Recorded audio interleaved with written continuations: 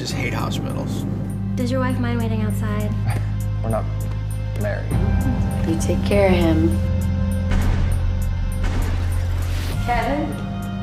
May I help you? My boyfriend was having surgery and I just want to see how much longer it's going to be. I'm not showing anyone in our system with that name. Are you okay? Ma'am, I need you to leave the restricted area. Excuse me. Hi. Sorry, I'm very busy right now. I'm looking for a patient.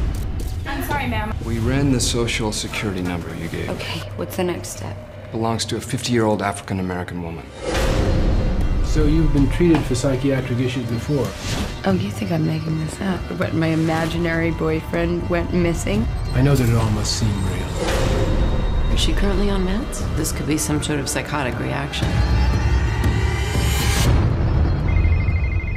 Hello? Kevin? I'm not crazy. This whole situation is real.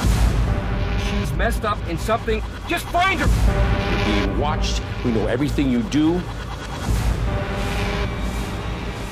I think they're all crazy. Or I'm the crazy one. Haven't you been paying any attention? Everything is a lie?